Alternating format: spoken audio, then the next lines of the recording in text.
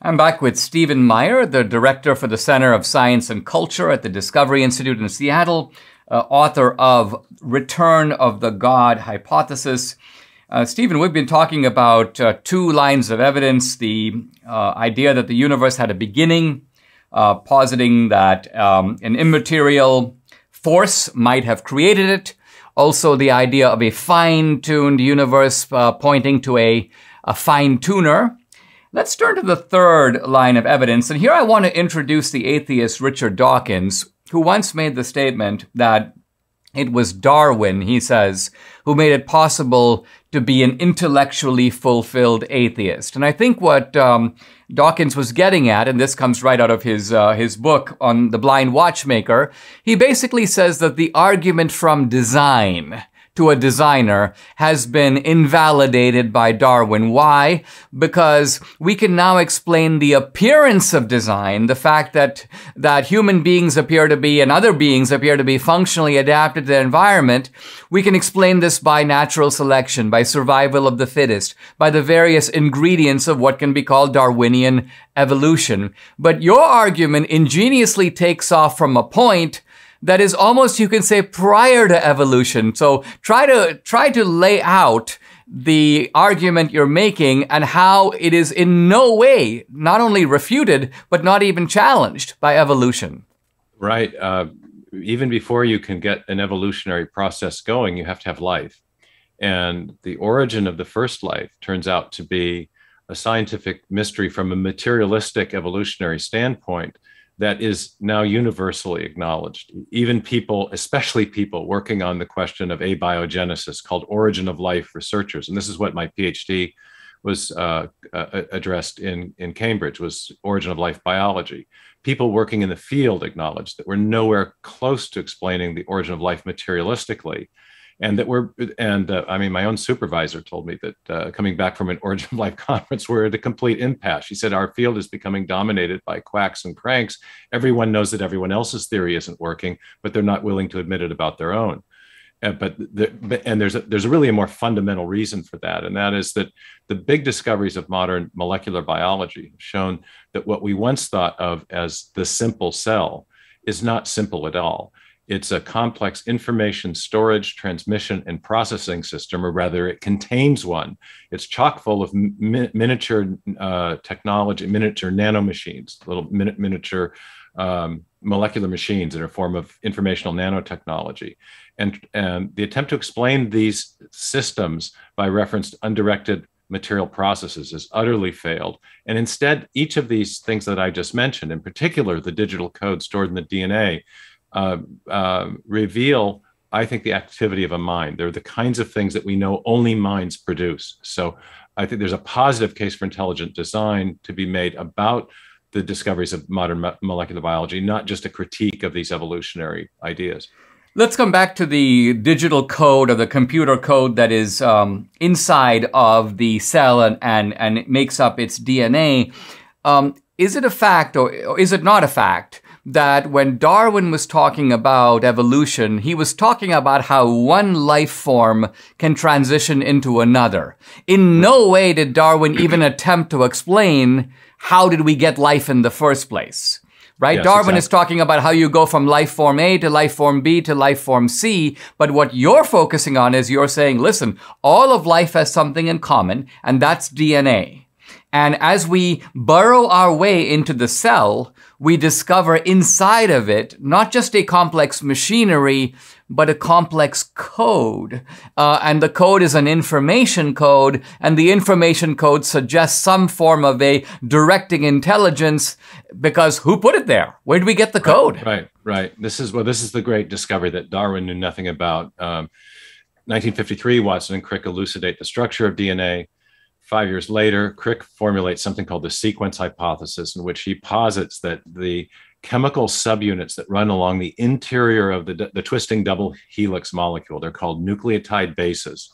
He said that these bases are functioning like alphabetic characters in a written language, or like the zeros and ones, the digital characters that we use in software today, which is to say, it's not the physical or chemical properties of these uh, chemical elements that give the, the DNA its function, but rather their arrangement in accord with an independent symbol convention that was later discovered and is now known as the genetic code. So we have a genetic text translated by a genetic code, and that's what's going on inside the cell.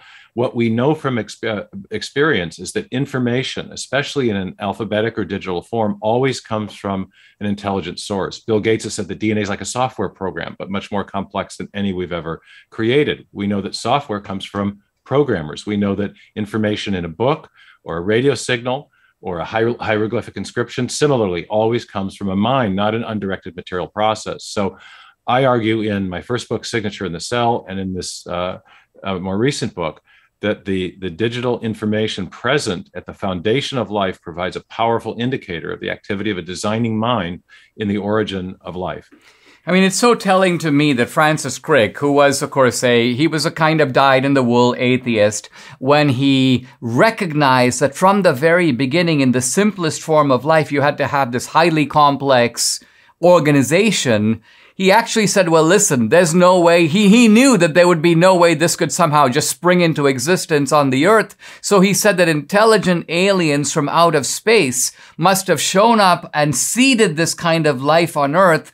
I mean, you can see the extent to which these guys have to engage in science fiction fantasy in order to try to explain something and avoid having to use, well, let's just call it the G word. Yeah, it, it's uh, it, it's the analog to the multiverse uh, hypothesis in the other uh, other subject area we were just discussing. Discussing scientific atheism is getting kind of weird. Uh, we're positing multiverses and simulation hypotheses, whether we all exist in the mind of a computer programmer idea, or alien designers, the panspermia idea. Even Richard Dawkins has floated that idea in an interview with Ben Stein in a film several years ago. And Dawkins this summer said he was knocked sideways with wonder at the complexity of the informational data processing system inside the cell, he acknowledges that it's the, the machine code of the genes, he says, is uncannily computer like. Well, hello, that's not just the appearance of design, that's that's evidence of actual design. And it is so because of what we know from our uniform and repeated experience, which is the basis of all scientific reasoning. This is how Darwin reasoned in The Origin of Species. The present is the key to the past. What we know in the present is that it takes a mind to generate information, especially in a digital or alphabetic form. So the discovery of information in even the simplest living cells points to the activity of a designing mind. That's what we know about the cause and effect structure of the world. It's not an argument from ignorance or a God of the gaps argument. This is a scientific argument based on, again, our uniform and repeated experience of what it takes to generate information. We know of no other cause that creates coding systems or digital code.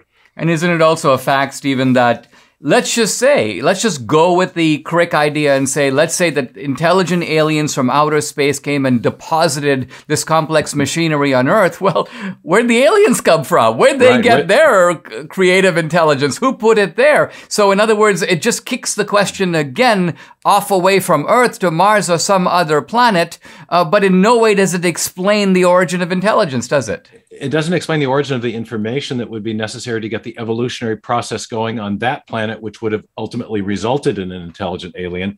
And the other thing it doesn't explain, Dinesh, is what we were talking about in the last segment the fine tuning of the universe, which much of which was set from the very beginning of the universe. So, no being within the cosmos that arises long after the beginning could explain the origin of the fine tuning present from the beginning of the universe, nor could such a, the, an alien designer hypothesis explain the origin of the universe itself, the Big Bang. So, again, it, what I argue in the book is that theism provides a better, more comprehensive explanation because it accounts for the three key evidences that we're looking at, whereas maybe panspermia, the, the space alien designer, can account for biological design on Earth, but it doesn't account for fine tuning or the origin of the universe. Similarly, deism might account for the origin of the universe and the fine tuning of the universe, but it doesn't account for the evidence of design that arises long after the beginning because a deistic creator doesn't act except at the beginning of the universe. And materialism doesn't explain any of these three things. And yet, that's the dominant worldview still held by many prominent spokespersons for science. I think that's changing. And that's why I call it the return of the God hypothesis. Wow. Thank you, Stephen Meyer, for a really stimulating conversation. I really appreciate it. You, you too, Dinesh. Great, great questions and good discussion.